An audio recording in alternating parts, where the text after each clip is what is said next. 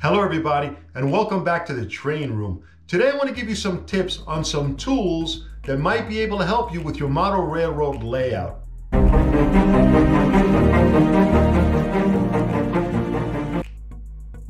Have you ever been excited to run some trains and you power up your transformer or your power packs and you push those throttle levers and the train doesn't go anywhere?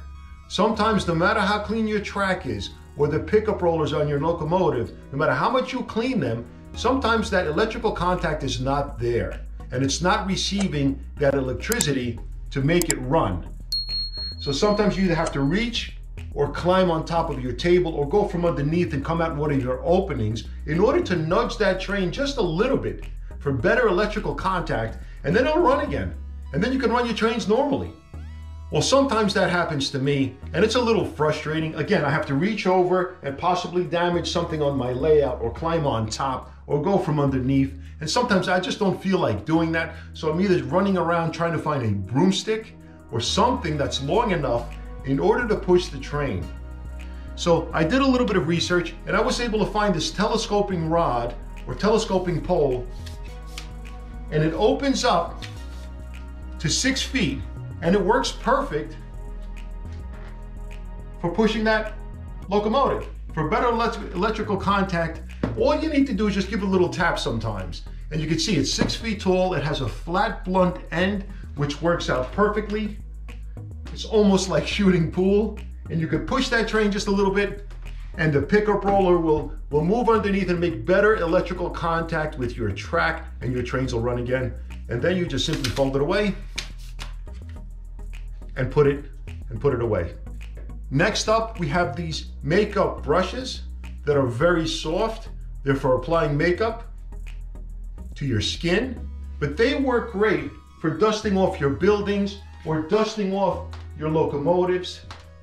So they're nice and soft, they won't pull, they won't do any damage. And again, they're perfect for dusting off your model cars, your buildings, your trains, your freight cars, anywhere that dust has collected, your control panel, so these work great. They come in packs. You can get multiple of them or you can get individual ones, whatever works best for you. But again, these are for applying makeup to your skin. So they're very, very soft, but they work well in dusting your layout. And then for larger dusting is your standard dust brush. Again, if you want to dust off a building or a larger locomotive quickly, or your control panel surface, your standard duster will do the job very well. Now here I have a pickup tool. It's a foldable pickup tool that once you put it together, you can pick up things from across the layout.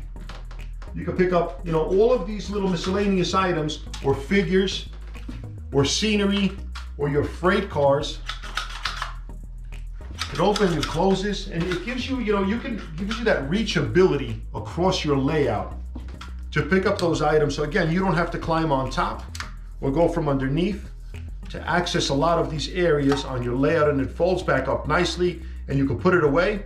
And these are just some of the tools that you can keep in your train room that make it easy for you to operate your layout. Here I have a precision set of screwdrivers, Phillips and flat, and they come in a set. And they're small enough where you can get to those little screws on your locomotives or your rolling stock if you need to change traction tires or any work that you need to do and get to those fine little screws, a precision screwdriver set, that'll work very well. And last but not least, I use this set of binoculars here. Now I know how that sounds guys, but you know, when some when something happens on the far end of the layout and I really need to get up close and see what it is, without having to go there each and every single time, I was able to find these binoculars. These are compact binoculars. So in other words, they're able to enhance an image within 25 feet. A normal pair of binoculars normally can't do that. So within 25 feet, the image would remain fuzzy or not clear or just be too large. So I can see pretty much something that's going on on the far end of my layout, such as the track switches. I have 44 switches and most of them are located on the far end of the layout. So I'd like to know the switch position before I operate just to make sure to prevent derailments. Now, my control panel does indicate that, but I'm not always at the control panel. So when I'm standing here or someplace else and I need to look down, you know, down the line of the track to the far side of the layout, or if I need to see the position of the turntable in relation to the whisker tracks. Now you can see my turntable is located pretty much on the far side of my layout. And I just want to make sure that that turntable is properly aligned with the whisker tracks before I move the locomotive. I've had several instances where it's derailed and I just want to make sure before I operate the locomotive that I can see that I'm properly aligned between the turntable and the whisker tracks. And these binoculars, they work perfect. These are Carson. These are 10 by 25. I have actually, I have two pairs.